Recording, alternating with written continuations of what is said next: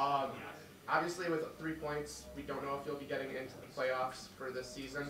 Uh, but how important is it going to be for you now to kind of stay ready in case you need to be someone's replacement um, come Washington, D.C.? Yeah, I'm a little uh, uh, bump up because I didn't get the points. I really wanted the points.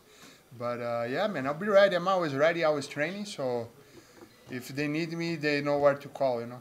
Yeah, definitely. Yeah. Um, back in Chicago, things didn't go your way. Um, how important would it be for you to possibly get even a rematch uh, if you are the replacement? Um, would that be a little bit extra special for you? That would be very special and uh, would be a dream come true. So I wish that happens, you know? I'm hoping for you. Yeah, thank you. And right here, bro. Uh, congratulations on the big win. I know this is your uh, first win in the PFL this year.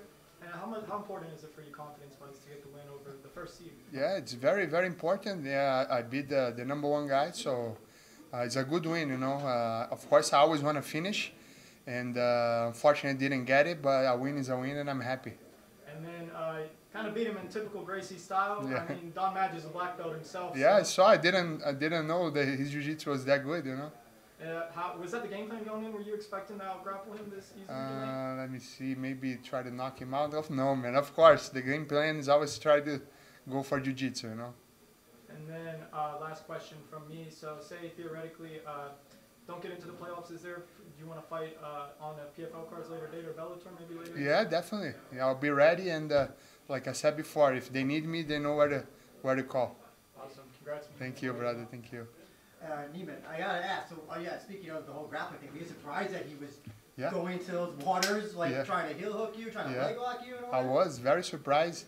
Uh, not that any submissions were very close to finish, but when he was going under me, I was like, man, this guy knows what he's doing, you know. So, uh, hats off to him.